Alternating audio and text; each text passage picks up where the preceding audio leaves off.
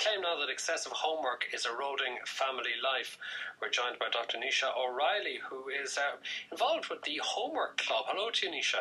Hello, good afternoon. How are you? Good afternoon. Now, tell us, why do you believe excessive homework for school children is eroding family life?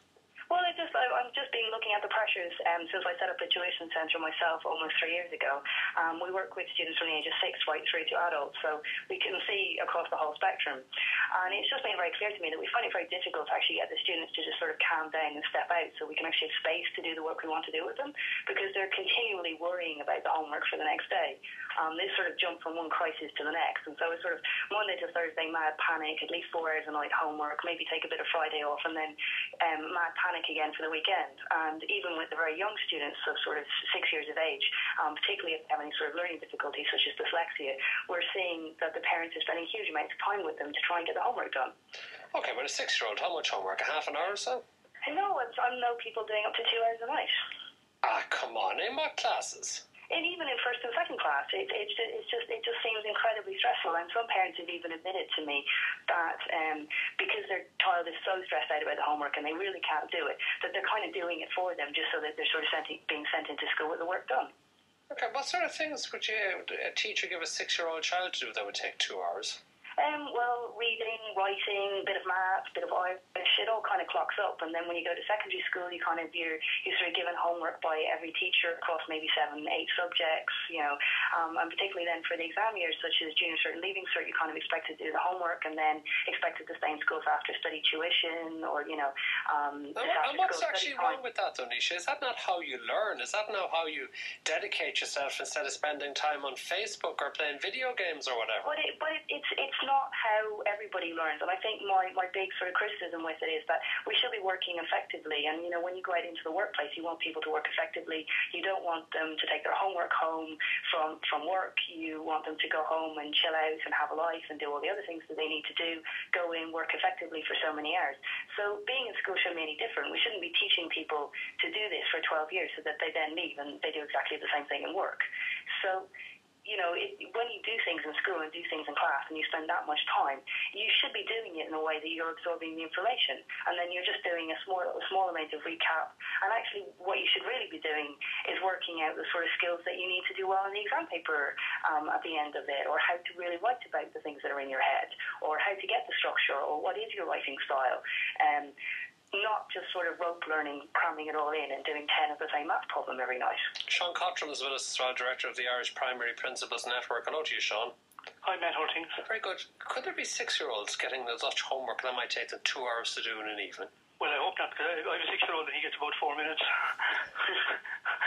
um, I, I, don't think so, Matt. I, I think that I mean, I've worked in about four or five different schools, and I've never come across children that young getting, getting that amount of homework. And how much homework should children in primary school be getting as they work their way up to sixth class? Well, it varies from school to school. I mean, certainly there is a culture of homework in some schools more so than others, but I think, I mean, it's hard to say because putting putting in time on it is isn't as easy as it sounds because see, some homework is pretty hard as as in like, hard insofar as it's measurable time wise, like you know, written work other homework such as research or maybe you know maybe collecting collecting leaves for the nature table or, or reading a book, you know where it can be a little bit more um, un, un, undefined in terms of in terms in terms of the amount of time that's actually spent doing it. You know. Mm. And what about the role of parents in assisting with homework in primary? Is that actually a good use of family time if the parents spend time with the, with the kids doing the homework? Well, you see, one of, one of the purposes of homework is to keep parents briefed as to what's happening in school, and that's, and that's, that's, that's important and it's very, very good.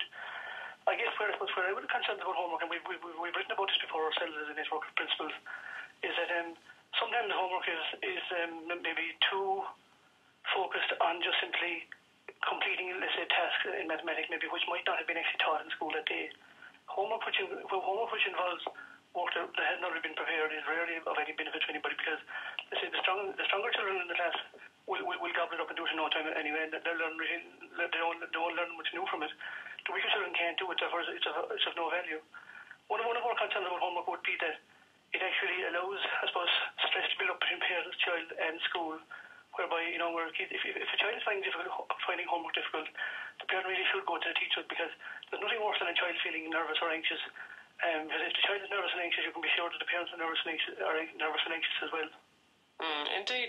Uh, when we go back to you on this one, uh, Naoisé O'Reilly, and for what you've been hearing there from Sean Cottrell, that maybe it's a problem with some small number of schools giving too much homework, that that really isn't the problem for most schools and most kids.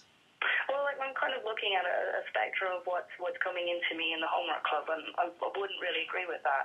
And I think what I'm really seeing is that if there's any sort of learning difficulty involved, because we generally work three times harder than everybody else, there's very little allowance being taken in for that. And because the way that the work is being set, it's only being set to sort of work in one way, which kind of assumes that you can read and write, which makes it quite problematic.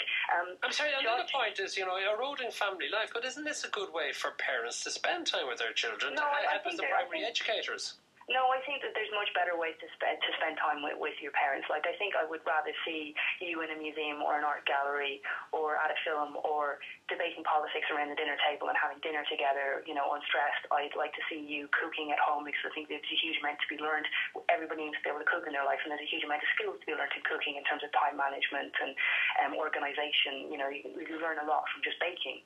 Um, I would much rather see people spending quality time together at home doing those sort of things rather than, you know, how to do fractions.